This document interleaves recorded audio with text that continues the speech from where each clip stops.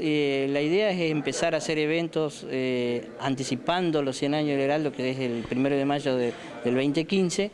y para esto estuvimos trabajando ya hace mucho tiempo con Marcelo Flores, hace más de un año, eh, en realizar un maratón este, con dos categorías, una categoría participativa, o sea, que puede entrar cualquiera y no tiene ningún costo de inscripción,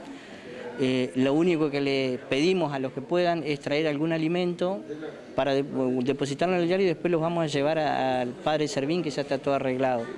Y la otra es, eh, en la, misma largada, el 20 a las 11, eh, es el maratón maratón de 10 kilómetros del Heraldo, la primera edición,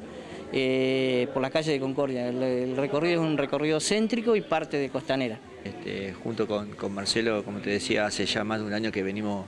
masticando y hablando y metiendo la posibilidad de poder hacer la maratón del diario, eh, tan importante para la ciudad de Concordia como lo hay eh, la maratón del diario Crónica en Comodoro Rivadavia, una carrera que tiene un nivel de trayectoria enorme. Y bueno, eh,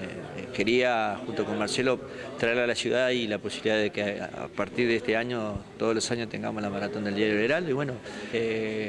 como bien lo decía Marce, la de 10 kilómetros que es competitiva, eh, bueno, recorrerá lugares céntricos y, parte de la costanera. Y bueno, y después tendremos 5 kilómetros que son eh, participativas y que no tienen un, valor de inscripción, sino que tiene un elemento no precedero a voluntad que, de los que quieran acercarnos a ese, elemento para poder nosotros, junto con el Heraldo, donarlo a la Gruta de Lourdes. Sí, en el tradicional edificio Quintana 42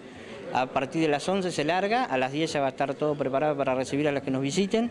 y lo que queríamos invitar también a través de ustedes, porque ya se sumaron varios, la gente de hockey, como la gente de ECU, como la gente de los abuelos del PAMI que van a participar con cotillón, con alegría, para hacer esta parte participativa que a mí me encanta porque es lo que le va a dar un poco de color este, no tan profesional a la edición primera del Maratón del Heraldo.